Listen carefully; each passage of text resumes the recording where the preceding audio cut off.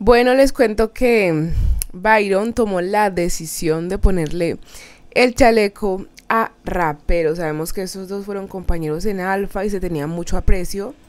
Pero ahora no están pensando en equipo ni nada, ahora están pensando en su bienestar. Jan ahora es semifinalista y está entre los cuatro mejores del desafío.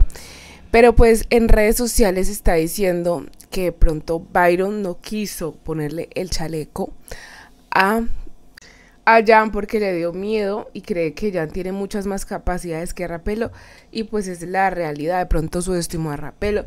Sabemos que Rapelo en la única muerte que ha estado ha estado bastante nervioso, estuvo a punto de irse incluso cuando compitió con Mateus, así que pues Byron tendría más confianza de enfrentar a Rapelo y tendría más posibilidades de quedarse según él.